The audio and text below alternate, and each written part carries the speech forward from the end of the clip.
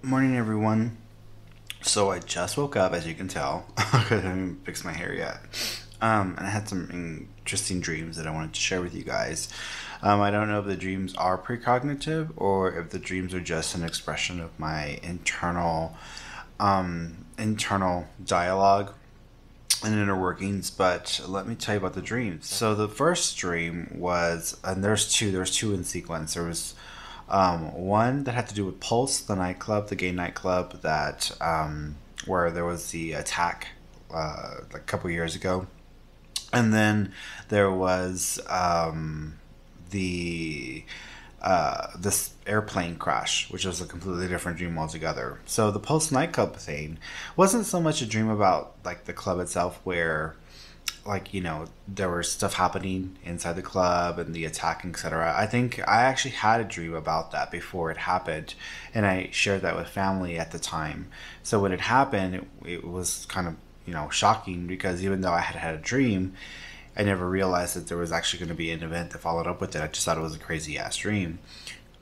But um in this in this dream the one that i had last night it, it was just um, what they were doing is they were recreating the pulse um, like entrance or front of the like nightclub. And they were going to be like uh, touring the cities like touring like you know whenever you go to a museum and sometimes they recreate like a certain scene or a certain thing that's what i saw. So i saw the pulse um, nightclub the front of it and also like the inner workings being recreated and like being taken to cities on tour. It's weird. I was like, oh, I don't know if they can do that mm-hmm. because if you've ever been there where this happened, the front of it is kind of like you have all these signs and pictures and like memorial stuff. So I don't know if that's even possible, but that's that was one of the, the first part of the dream. And that was it. That was it was pretty simple. The second one was the one that was I thought was really really um, um, interesting because the second one. Um, so sometimes when I have dreams, I will dream from my own perspective, like me, Ferny, Fernando's perspective. And then sometimes I'm dreaming from someone else's eyes and seeing through someone else's like eyes. And and typically whenever I'm seeing through someone else's eyes or I'm experiencing through someone else, I usually attribute that to not being a dream about me, but it being a psychic dream or a precognitive dream. Even if I don't know when or where, or or even if it happens and I don't even realize that it's already happened. But typically, whenever I'm like in someone else's position or place and it's not me, then I attribute it to um, a psychic dream, like a precognitive dream again, I don't know if this is a precognitive or not, but it lines up with it, right? Um, so in the dream, I was in an airplane, and I don't know if we were taking off or we were landing. Um, and it was it was odd because the dream had two parts to it. The first part was I kept thinking of myself as like Dan and Roseanne from the show, Dan and Roseanne from the show Roseanne, and we were sitting in a in a plane, and it felt like those old planes, like from like the eighties um, the chairs were different. Everybody was dressed like that. Um, so it was a weird, like, it was just like one of those situations. It was kind of odd. Um, and that was annoying because that to me felt like it was overlapping with the show. Like, um, Roseanne's, it was kind of overlapping with the show, and I was just like, I can't even tell what's real, what isn't, because it felt like it was overlapping with the show, but yet it was also the scene that I'd never seen in the show, which is they're in an airplane, um, and I'm looking down the the the walkway of the airplane inside the the the the, in, the inside of the plane, looking towards the front, towards the cockpit. But then, what happens is that that changes, and then I'm not even connected to those people anymore. I'm not even connected to that anymore. I'm somewhere in the front. So I'm somewhere in the front, and I don't know, like I said, if the plane was either taking off or it was landing. And then the process, like it starts to go down. And as it starts to go down, it does this weird, like, it goes sideways and it flips this way. So, like, the, the plane doesn't just go like this and then flip this way, it goes like this, skids sideways, or it, it starts to, like, like kind of uh, lose control and as it goes loses control, it goes sideways, and then it flips over like this. Because um, that's the part that I remember is it flipping over on its side like that, and then everybody just like flying everywhere and whatnot. And then I remember that I me thinking because I was so close to one of the exits that when the crash was done, I'd be able to get out. And that that was my thought process. Like my thought process was, oh my God, this is happening. And then I'll be able to get out. I'll be able to get out because it's so, I'm so close to the exit.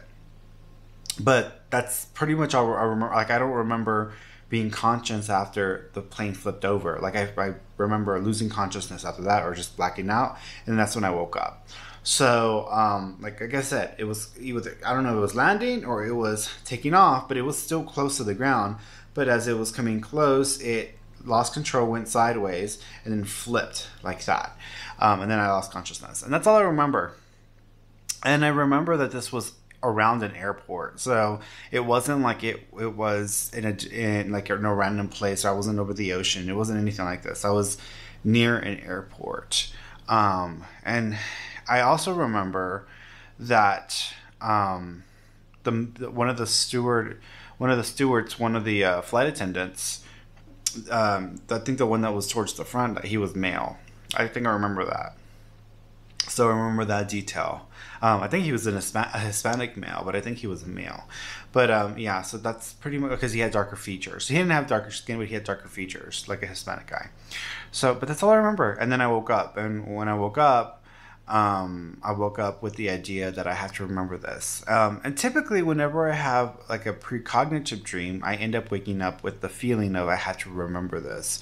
And then as soon as I wake up and start moving around, feeding the cats, using the bathroom, whatever, it just falls out of my head or goes away. Um, but I wanted to share my dream with you guys because I really didn't know what, what it meant. Um, and to apply meaning to it, I mean, if I wanted to apply meaning that maybe had something to do with me, um, it could mean, I mean, well, what could this mean if I were to think about it? Um, I would think that the I, the pulse night coupling that's completely different. Like that would be a completely different theme. Um, and that would ha- I think that would have more to do with like fears uh, over, over gay people being prosecuted or persecuted. Um, and and being terrorized and there being like you know a need for visibility. There there being a need for education. There being a need for support in major city centers around the world. Like i guess that's what i would see that as if i were going to apply me to it me thinking that there needs to be some sort of presence in every city. Um, when you when you that's one thing. When you look at the airplane thing, though, I mean the only thing I can think of because it ties in with that Roseanne and Dan theme um, from the show Roseanne is I would think that maybe my um, my humor or the way that I am like direct with people or sometimes you know being overly honest or being overly um, um, expressive or just being blunt, sometimes uh, maybe I can lose control of that, or that may be something that's going to be my downfall. I mean, I don't know. Maybe that's the meaning, which I would hate for that to be the meaning because I really enjoy being like direct and honest with people and authentic. Um, I would hate to have to be like fake every time I talk to people or every, fake every time I'm like talking to you guys.